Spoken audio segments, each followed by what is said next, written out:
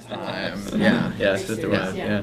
Um, so you returned home to do this film, right, or nearby? Mhm. Yeah. Oh, in the same neighborhood that we were born into. I mean, the house we shot in was literally a few blocks away from the house that we were born into. Um, and that, that the main reason we did that is we believe in, in like the summer camp model of filmmaking where everyone goes away and we live and breathe this thing for you know in the case of our independent films is really only a matter of like three or four weeks. Um, so that's something that we love, and, and in general, just the supportive nature of being in a in a in a, an environment that is excited about a film coming there and being shot, as opposed to LA, where you're kind of like a thorn in someone's side when you show up with with you know a camera. Um, so A thorn that they hope to make a lot of money. a thorn that they will yeah that they will charge you twenty thousand dollars to pull out. Um, Gonna rape that thorn. yeah, exactly. Get some. Um, so yeah, but you know, our parents lived there. We we slept at our parents' house. Um, a lot of our crew slept at our parents' house.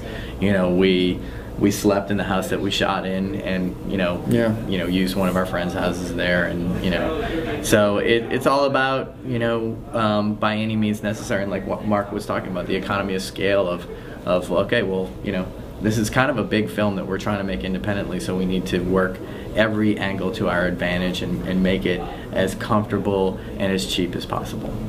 So when you went back there to shoot, Mhm. what type of sort of epiphanies did you have? Because I'm sure growing up, going to high school, you had your own ideas of what success would look like as Mhm. a 30-some year old, and then you're coming back there. Was it scary? Was it exhilarating? I mean, you're kind of No, it was pretty great coming to New Orleans because it's just a huge support system. I mean, our parents and they're, you know, there to help cook meals for us. And Steve Zissis, our lead actor's mom, was the head caterer on the movie because she used to run this fantastic Greek restaurant.